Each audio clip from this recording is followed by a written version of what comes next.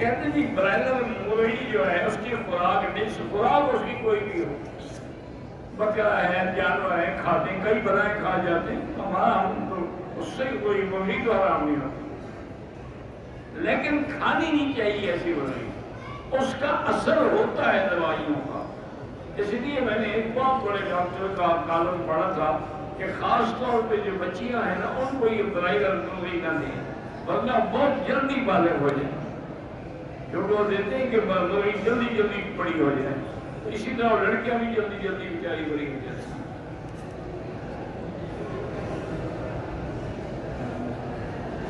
कहते नहीं, अगर बीवी के पाँव में दर्द हो तो शौहर बीवी के पाँव दबा सकता है। बिल्कुल क्यों नहीं दबा सकता है? बीवी तुम्हारे पाँव दबा सकती है तुम्हें कौन सी तकलीफ़ है? आदमी में मेहंदी लगी हुई एक दूसरे की आदमी मदद करता है। वो बीमार है, उसको तकलीफ़ है।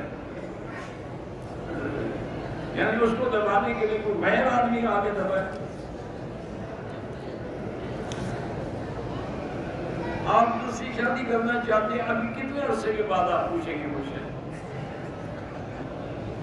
ये हज़ार दफ़ा पूछा जा चुका है। बिल्कुल करना चाहता हूँ जनाब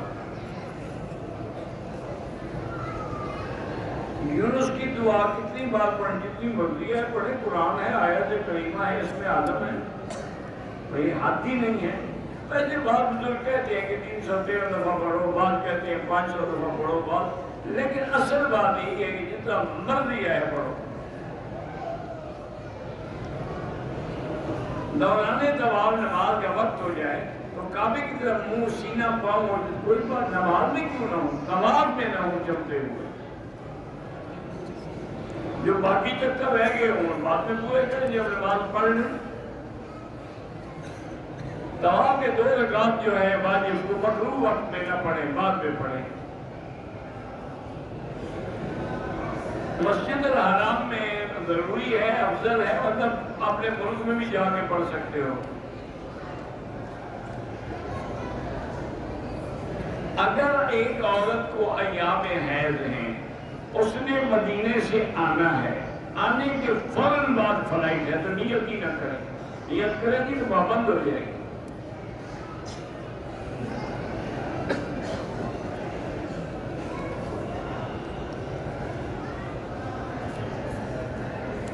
पता नहीं किसको क्या तिब्बी मसला नहीं है।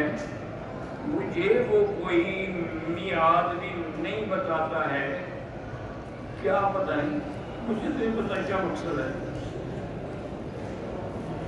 शादी को दो साल से ज़्यादा अरसा हो गया है।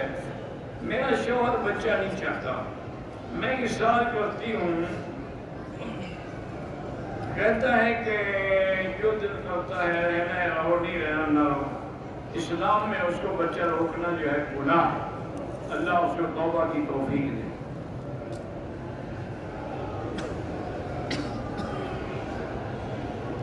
बेटे से इराम बांधा नीयत नहीं की तो इराम किस लिए बांधा। जब नीयत नहीं किसी चालने बाद उससे तो कुछ नहीं होता। जहाज़ लेट हो गया, पाँच लोगों ने इराम खोल जब इराम था ही नहीं तो खोल क्या दिया? नीयत नहीं की तो इराम कहाँ था? फिर अगर आपने शादिया से इराम बाँध के उम्र कर दिया ठीक है, वरना दम है। सबसे अफजल हज जो है वो किरान है। सैयद को जक़ात नहीं दी जाती।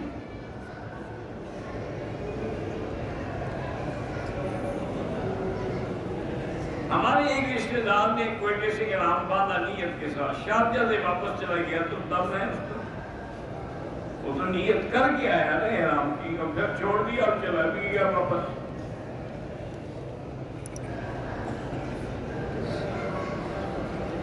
कफील मुझे कागजात नहीं है दो रकात नमाज़ पढ़ के दुआ मांगा करें। तवाफ करते हुए मोबाइल से फ़ोटो खींचना बिल्कुल हराम है। दो आदमी उमरा गए एक दूसरे के सर पे उस तरह फेर सकते हैं। तीन चक्कर तवाफ किया, होटल चला गया, बाद में याद आया, अब चार पूरा पूरा है। नहीं, फिर इब्तदा से शुरू करो। जो आदमी गुर्दे फेल होने की वजह से फौत हो फायद सबको फ़ायदा होगा जो भी फौत हुए तकलीफ़ से अल्लाह उनकी मफत फरमाए। मैंने बेटे का नाम हमदान और तोहीद रखो, ठीक है। एक वक्त में भी तीन तलाक हो जाती है, बिल्कुल। एक वक्त में किसी को तुम तीन थप्पड़ मार के देखो, एक गिरता है या तीन? तजर्बा करो ना, मौलवी की बात पे ना रहो। को रख के तीन थप्पड़ मारो। उससे पूछो, कितने लगे हैं? वो कहे, एक तो फिर एक होगा। ऐसे बस अल्लाह हिदायत दे। मेरे भाई की रहने में कुछ वजह से परेशान। परेशानी का इलाज ही आयत करीम है। ला इलाहा इल्ला अंत सुभानक इन्नी कुंतु मिनल ज़ालिमीन बहरहाल, शिया से रिश्ता न करें। अल्लाह तबारा जिनके बाद औलाद नवीना नहीं, अल्लाह उनको औलाद दे। जिनके भाई या औलाद नशे में, अल्लाह उनको अजाब से छुड़ाए। जिनकी औलाद ही अल्लाह सबको औलाद दे। अदल किया जा सकता है। अगर बीवी राज़ी हो अदल पे तो फिर अदल कर सकते हैं। बीवी राज़ी न हो तो फिर नहीं कर सकते। के बाद सर मुड़ाना बिल्कुल ज़रूरी है। लोग कहते हैं कि हमारे नाम पे कुरान लेके हम रख लें बिल्कुल रख लें, लेकिन रखने नहीं लेके उठा लेते हैं। किसी मस्जिद में रख लो मेरे भाई और खावन की अल्लाह करे तरक्की हो, आमीन, अल्लाह तो सबको तरक्की दे। खुश खांसी, अल्लाह शिफाता फरमाए। मैंने तमाम किया कि मुझे पता नहीं कितने चक्कर में गया अल्लाह कबूल करे, अब आपको पता तो मौलवी को पता है। एक आदमी तमाम की आसाई के मैंने हाथ खोल हल करा दिया, दम पड़ गई। बच्चे की पैदाइश के बाद, बच्चे के बाद जो है वो सातवें दिन मारे जाए और सातवें दिन ही अकीका किया जाए।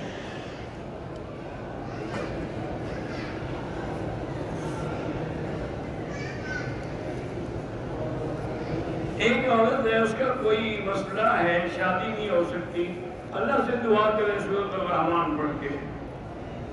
दौरान हरम हो या किसी भी जगह, सबों का इतसार सुन्नत है। हरम शरीफ में भी मकरू औकात में नवाज़ न पड़े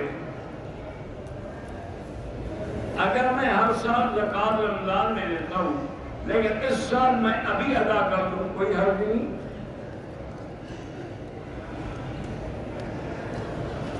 दम पाकिस्तान में नहीं की जाती। दम जो है वो हरम में की। हर यबलहादी वहिल्ला। और उसका महल महल जो है वो हरम है। ये तो कुरान का हुक्म है। रोज़े की हालत में मियाँ बीवी मिल सकते हैं हाँ जी मिल सकते हैं इन शाह साठ रोज़े रखने पड़ेंगे।